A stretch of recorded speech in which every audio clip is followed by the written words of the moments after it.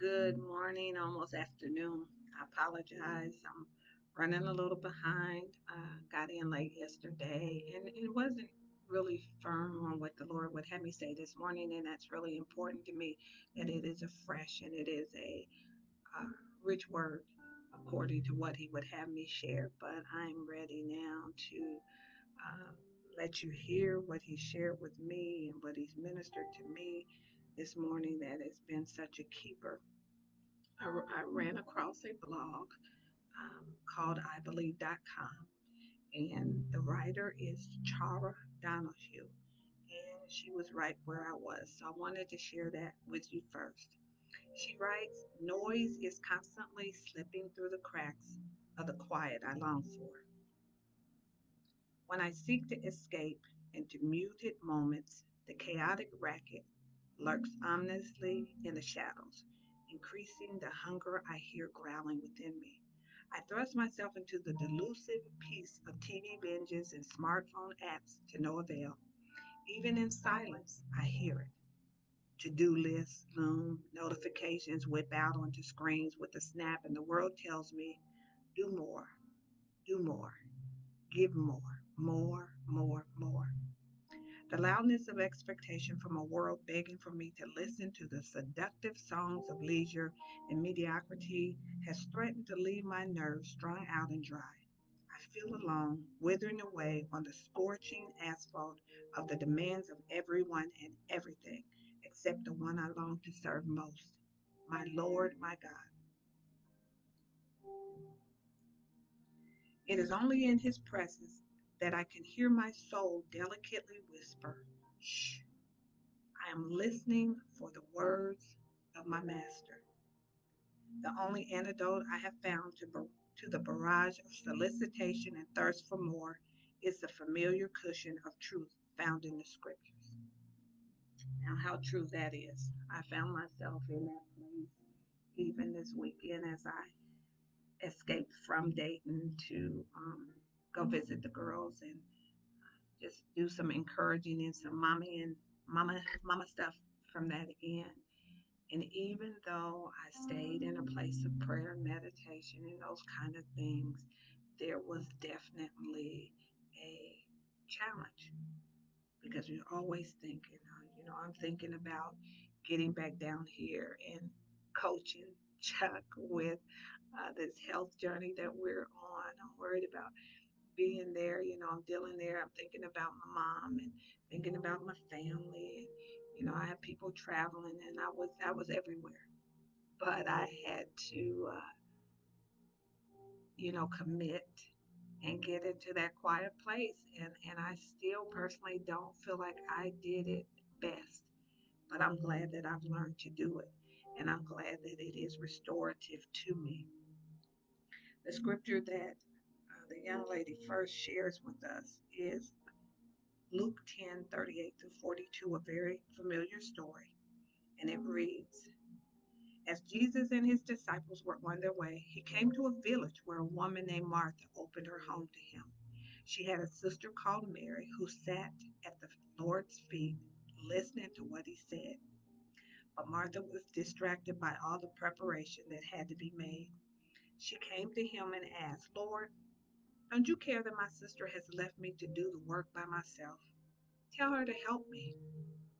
Martha, Martha, the Lord said, You are worried and upset about many things, but few things are needed, or indeed only one. Mary has chosen what is better, and it will not be taken away from her.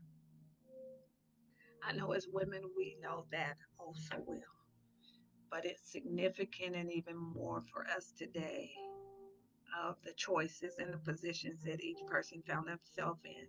Martha doing the work, which was good, but Mary at the feet of Jesus, which was God. And that's where we need to be. And we need to find that place in that space and make it a priority and the first thing. It is one of the greatest representations of tithe, giving it to Him first.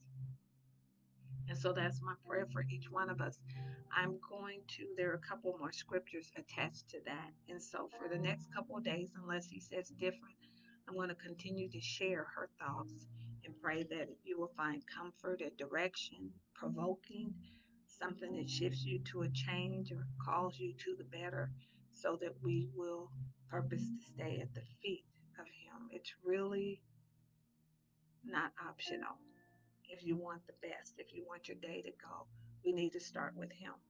And then the mm-hmm. other thing about that is, it said that she was at His feet listening to what He was saying.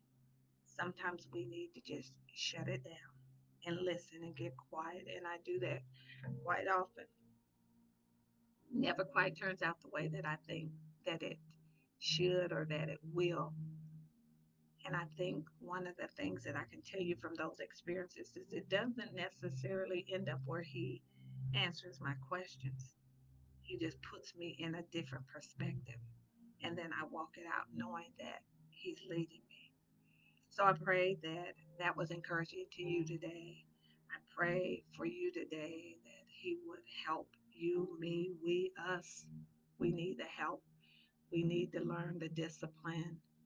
And Father, we need the desire. That's the one thing that I will pray for us. In closing, Father, give us the desire of your heart for us. Give us the desire to sit at your feet and to listen. Give us the desire, Lord, as long as we have air in our lungs. We can breathe. We can move about. We can choose. We pray, Father, that our hearts would choose you. And in the places where we are being tripped up, and in the places that we are being challenged, and in the places where we are being hijacked, God, and in the places that we are holding on to, Lord, I pray that you would challenge us, that you would provoke us, that you would cause us to do what is most pleasing to you, and that is to begin our day at your feet. Most times with our mouth closed and our ears open and our hearts ready to receive. Father, thank you for your word. Thank you for life today. I pray for my sisters, your daughters. I pray that you would bless them and keep them today. Father, cause them to learn to come to that secret place of the Most High God where they can dwell under the shadow of the Almighty. Father, we love you. Bless you. We praise you. In Jesus' name we pray. Amen. Have a quiet spirit today, I pray. Be safe. And if God says the same, I will see you in the morning. And for those of you who are Facebookers, we will be live uh, tomorrow at 9 a.m. And for those that are not, I will upload it as soon as we finish, and you'll find us on YouTube. God bless.